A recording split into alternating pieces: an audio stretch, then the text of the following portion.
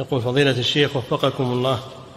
يقول قلنا إن سورة المزمل نزلت في مكة. يقول هذا, بلا شك. نعم.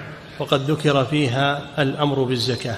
أقيموا الصلاة وآتوا الزكاة. الزكاة ما هي زكاة المال. الزكاة التي أمر بها في مكة ليست زكاة المال وإنما هي زكاة النفس.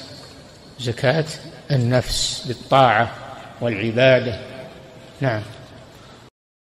إعداد مشروع كبار العلماء بالكويت أعزها الله بالتوحيد والسنة.